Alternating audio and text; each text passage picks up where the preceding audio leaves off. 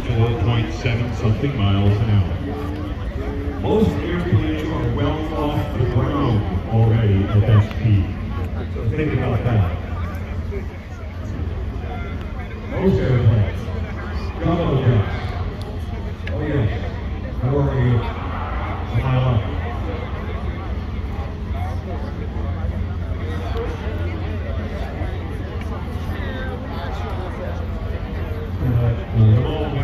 Ware from GT Class, multiple GT Class factory driver. And those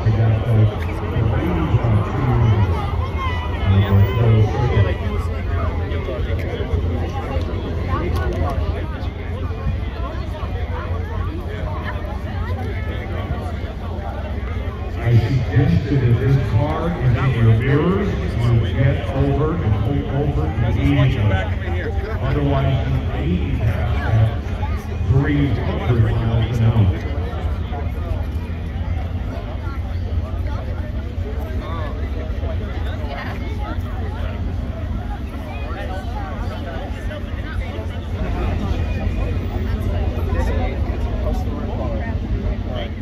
Yes, Aston Martin makes an SUV. Pleases, so fast, it's so fun. Totally, don't know you're in an SUV on these. AMG V8 power.